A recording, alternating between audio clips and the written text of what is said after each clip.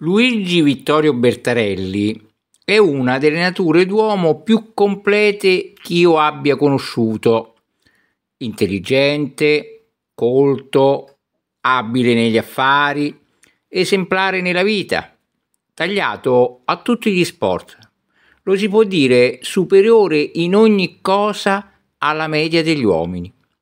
La sua cultura è varia, non superficiale la sua intelligenza prontissima, tanto che nei tre anni in cui il ciclismo gli diede occasione di farsi conoscere, egli seppe diventare letterato ed oratore. Negli affari lo dicono abilissimo. Nella fabbricazione dei bronzi da chiesa il suo stabilimento fa una fortunata concorrenza all'estero. Il Bertarelli non ha esitato, per farsi maestro nell'industria sua, per conoscerne tutti i segreti, a viaggiare mezzo il mondo, spesso indossando il camiciotto dell'operaio. In quanto agli sport non parliamone. Alpinista, camminatore e ciclista di una resistenza a tutta prova, pronto tanto a scalare il Monte Bianco quanto a fare 200 km per una settimana di seguito, quasi che queste fossero le cose più naturali del mondo. Luigi Vittorio Bertarelli ha viaggiato molto ed ha viaggiato non già cacciato in un compartimento ferroviario, ma o a piedi o a cavallo o in bicicletta, desideroso di conoscere bene e da vicino paesi, usanze e costumi. Ove egli sia stato rimane ancora un mistero, giacché un giorno vi parla una gran mangiata di cavallette fatte in Siria, un altro dei palicari greci, un altro ancora di un'escursione ciclistica sul mar gelato del Baltico e un altro ancora delle abitudini dei latitanti sardi. E di questi viaggi, fatti per suo conto, senza la preoccupazione di scriverne, Bertarelli ne ha riportato immagini fresche e vive, che con l'aiuto di una prodigiosa memoria prendono vita allorché ei lo voglia. Giacché Bertarelli è anche uno scrittore. Dovrei dire che scrittore lo è diventato, giacché mi ricordo che allorché il Touring Club ciclistico italiano ne fece il suo capo sezione strade, la prosa del Bertarelli faceva a noi giornalisti, allora numerosi nel primo consiglio del Turing, l'effetto di qualcosa di improprio, di scialbo, di commerciale. Ma in pochi mesi ci dovevamo persuadere di una cosa, che con una rapidità meravigliosa, senza che alcuno avesse il coraggio di dirglielo, il Bertarelli erasi spogliato di tutti i suoi difetti ed aveva saputo crearsi una forma robusta, agile e colorita, tale da farci rimanere tutti come sbalorditi. È un vero peccato, di fronte a questa meravigliosa trasformazione, che la notorietà di Bertarelli sia sì ristretta fra i ciclisti, giacché egli potrebbe essere un originale descrittore di viaggi per tutti coloro che amano le impressioni vive, sinceramente esposte. E questa pubblicazione di cinque giornate di escursioni ciclistiche per la Calabria e la Basilicata dovrebbe appunto servire a togliere dalla vita breve ed effimera del giornale questa serie di istantanee piene di verità e di interesse. Tanto più che queste pagine, oltre che il valore del Bertarelli come scrittore, dimostrano ciò che non si è ancora abbastanza compreso, l'utilità che può avere il ciclismo turistico, specialmente in Italia. Così varia per comunanze e per razze, per climi e per vegetazione. Non vi è alcuno che conosca così poco il proprio paese quanto l'italiano.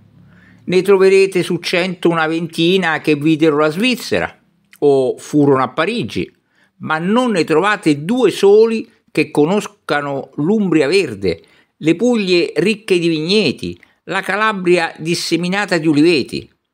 Così che il settentrionale in Calabria assume il carattere di qualche cosa di raro, di un mondo così diverso che non si può formarsene un'idea e l'Alta Italia, nel linguaggio popolare calabrese, diventa l'altra Italia.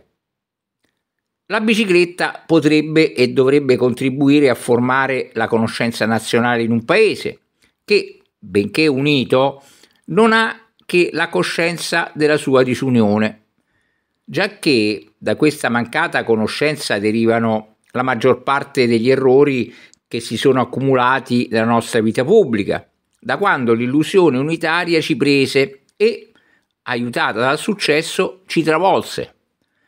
Guardate ad esempio la Calabria, di cui le pagine del Bertarelli sono una giusta rivendicazione. Se parlerete con uno dell'Alta Italia della Calabria, questi vi svolterà paurosamente il capo e vi parlerà di briganti, di cappelli a cono, di tromboni. E se voi gli risponderete che tutta questa roba è finita nei musei, egli vi dirà che la scomparsa non può essere totale. Non vi saranno briganti, ma non mancheranno malviventi. Non si ripeteranno le imprese audaci di Gasparone I, ma non si tralascerà di tentare qualche colpo allorché capita.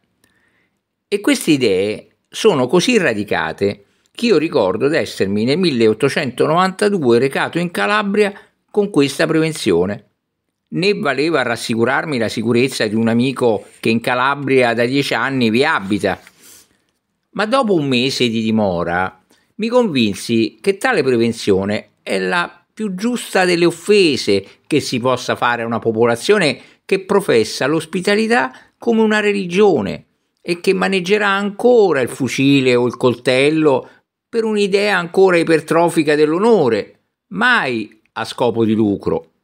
Sotto questo aspetto il viaggio di Bertarelli dovrebbe insegnare qualche cosa a noi dell'altra Italia, e cioè che la sicurezza laggiù non potrebbe essere più grande e che un ciclista può viaggiarsene solo, sicurissimo di trovare ovunque ospitalità. L'ospitalità calabrese è qualcosa di spagnolesco non possiede più quel contorno di tradizioni che contornano ancora l'ospitalità sarda. La ferrovia e le diligenze, con l'estendersi di una bella e comoda rete stradale, hanno reso meno difficile il viaggiare, per cui la tradizione se n'è andata, non mantenendo vivo che il sentimento, rinunziando cioè alla decorazione.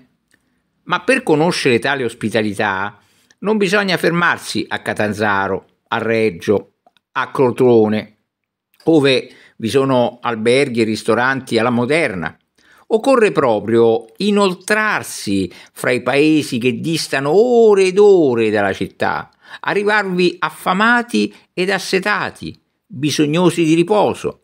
In qualunque casa voi bussate, troverete ricovero e ristoro e vi arriverà, magari, allorché si sappia che siete un forestiero, osterie che non accettano il vostro denaro.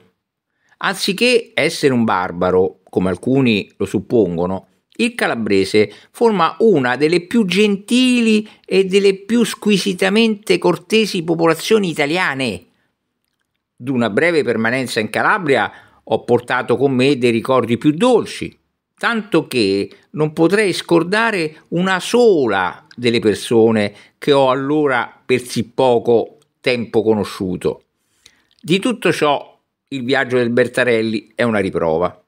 E alle sue pagine in cui le descrizioni della bellezza dei luoghi si succedono a quelle sulla bontà degli abitanti, dileguano le fosche sanguinose leggende dei briganti e dei tromboni, se codesto ciclista è uomo che ama riflettere, potrà fare anche qualche altra osservazione utile. Quella, ad esempio, essere un pregiudizio alla credenza che quelle province non siano, per il resto della nazione, che dei parassiti per la vita nazionale. Laggiù vi sono terre fertili e ricchezze grandi. L'occhio si perde spesso fra interminabili uliveti e gli aranceti auliscono quasi ad ogni svolto di strada, mentre vigne dal vino generoso incoronano ogni poggio. Ma tutta questa ricchezza è poveramente pagata. L'olio, il vino, gli aranci e i formaggi caprini non possono sperare in un'esportazione troppo gravosa oggi, in cui le ferrovie con tariffe altissime hanno distrutto altri mezzi meno costosi di trasporti per mare in cui l'unità italiana ha tolto alle Calabria quel grande consumatore che era Napoli. La Calabria ha avuto ferrovie che servono più che tutto agli inglesi tisici i quali vogliono recarsi in Sicilia senza passare il mare e strade, le quali, lo imparino i ciclisti da Bertarelli, sono fra le buone d'Italia. Ma linee ferroviarie e reti stradali sono come le vene di un anemico. Il sangue dell'attività non vi scorre, giacché la Calabria, ciò che produce, deve consumarlo in casa sua. E così il denaro manca in modo assoluto. Quasi tutto si paga in derrate, dal medico al notaio all'avvocato. L'esattore però no, questo vuole essere pagato in denari contanti. E il curioso si è che allora quando un possidente calabrese ha da maritare una figliuola o un figlio che deve fare il volontario, non trova denaro neppure vendendo un fondo. Cosicché oggi in Calabria si possono acquistare terreni al 7, all'8 e anche al 10% del loro reddito netto un paese ridotto in tali condizioni da una politica insipiente si può chiamare sacrificato, ma non parassita. Luigi Vittorio Bertarelli ha con questo, come con altri viaggi, dimostrata la grande utilità per noi italiani di conoscere, di studiare il nostro paese, per essere retti nelle opinioni, esatti nei giudizi.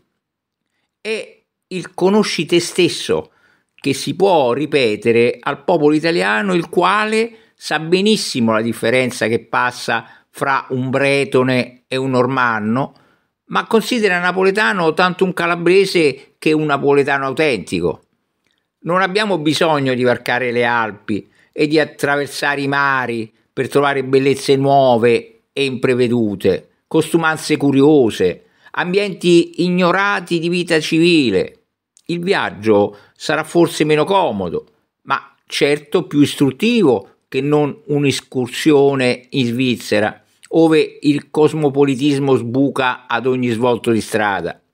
L'agile bicicletta è un mezzo cui bisogna saper dare uno scopo e di saperglielo dare lo dimostra Bertarelli con queste come con altre sue pagine in cui lo scrittore completa l'osservatore e l'uno e l'altro il ciclista.